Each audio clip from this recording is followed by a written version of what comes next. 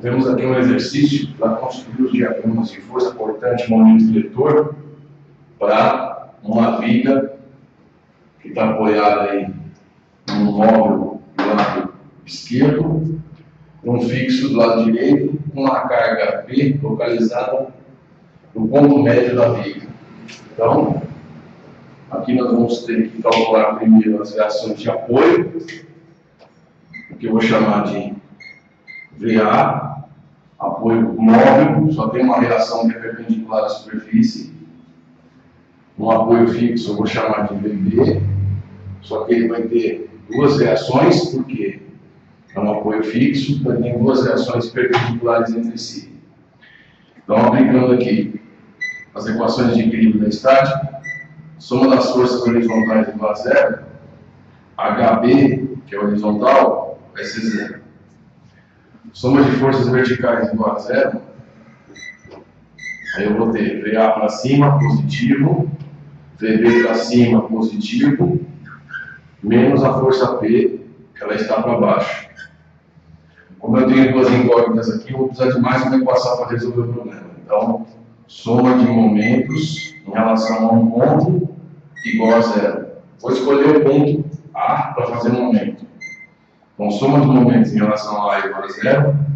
O que girar no sentido anti-horário, eu vou falar é positivo.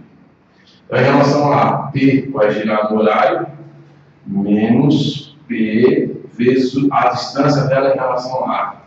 Vai ser L sobre 2. L sobre 2. VB vai girar no anti-horário, então mais VB, a distância do VB em relação a A seria o comprimento todo da viga, que é L. Então isso aqui vai ser igual a zero. Isolando lá o VB, eu vou ficar com VB vezes L é igual P L sobre 2.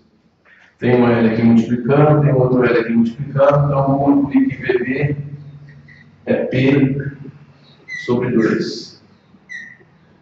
Por simetria, você já pode ter observado isso, né? Metade desse esforço vai estar aqui, metade desse esforço vai estar aqui. Então, VA também vai ser P sobre 2.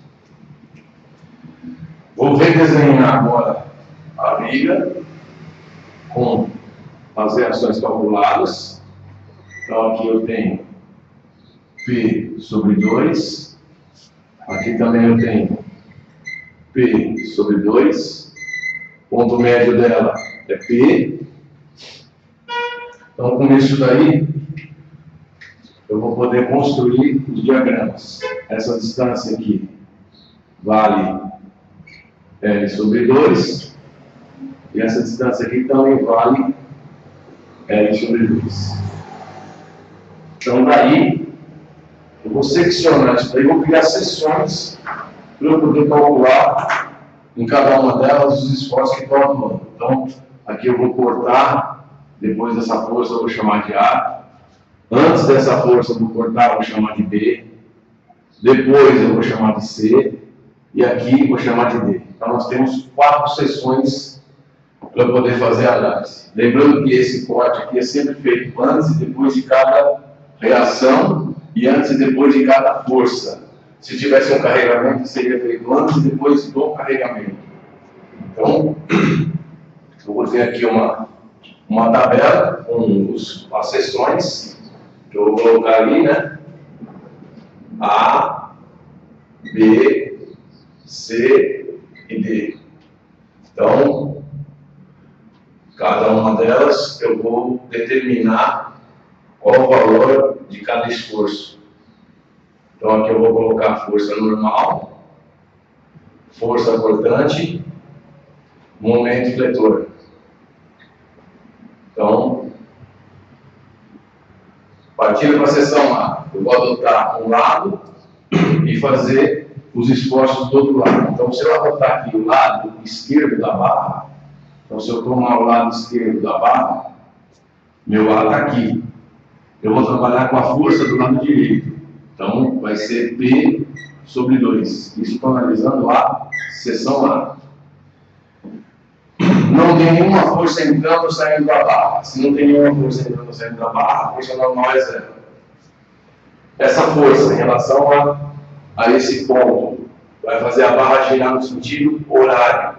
Toda vez que a cortante girar no sentido horário, é positiva.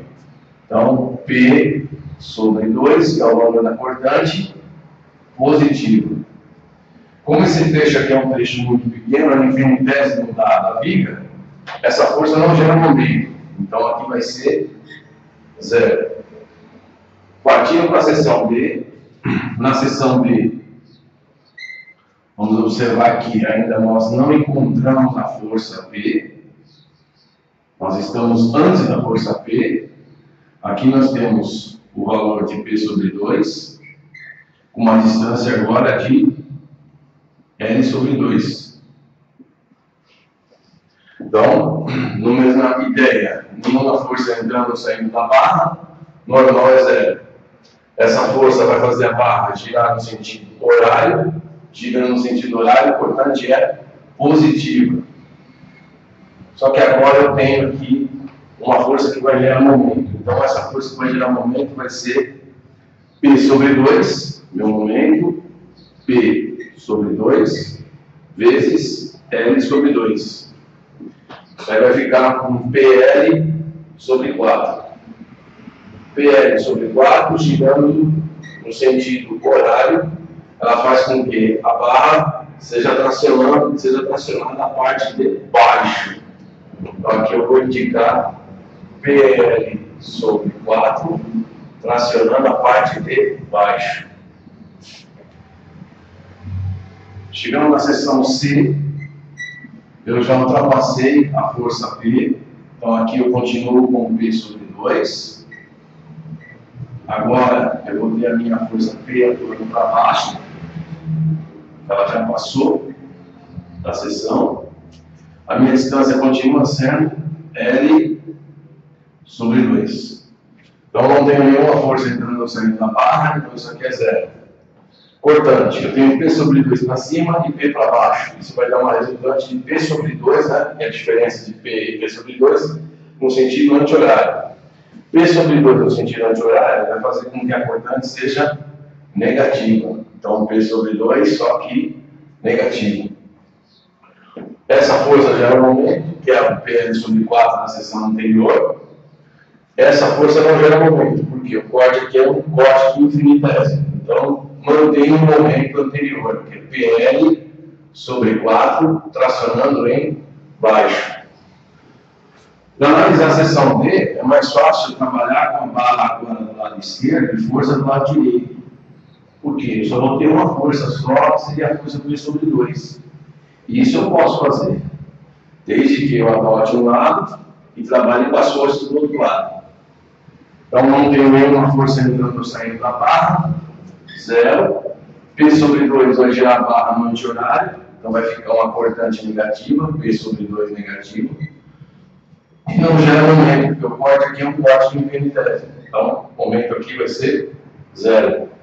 Com isso, nós já determinamos e construímos aí todas as condições de cada uma das seções para os esforços internos. Então, agora nós podemos construir o diagrama. Então, aqui eu vou construir o diagrama de força normal, força cortante e momento fletor. Então, observando ali de acordo com o que está na tabela, de A até D não existe força normal. Então, aqui a força normal vai ser zero. Cortante, P sobre 2 positivo, de A até B. Então, daqui até aqui, a cortante é positiva. Então, eu vou marcar aqui cortante positiva constante, vale P sobre 2 positivo. Pode ver que ela é constante de acordo com a tabela. Depois de C até D, a cortante fica negativa, constante também. Negativa, e ela vale P sobre 2. Então, aqui nós já temos o diagrama da força cortante para os dois trechos. Momento começa com zero, atinge um PL sobre 4 na parte de baixo. Ele está tracionando embaixo. Então ele sai de zero, vai até PL sobre 4. E vem de PL sobre 4 e volta para zero. Então aqui ele vale PL sobre 4. Eu poderia fazer o seguinte, poderia só com o, a, o diagrama da força cortante, que está aqui, calcular esse momento, basta trabalhar com a área dessa figura geométrica. Como isso aqui é um retângulo, a base dele é L sobre 2, a altura dele é P sobre 2. Se eu multiplicar L sobre 2 vezes P sobre 2, eu vou encontrar o meu momento vetor, que é de PL sobre 4. Daí a construção de um diagrama, construção dos diagramas, né? Uma viga que tem uma força concentrada no seu ponto médio.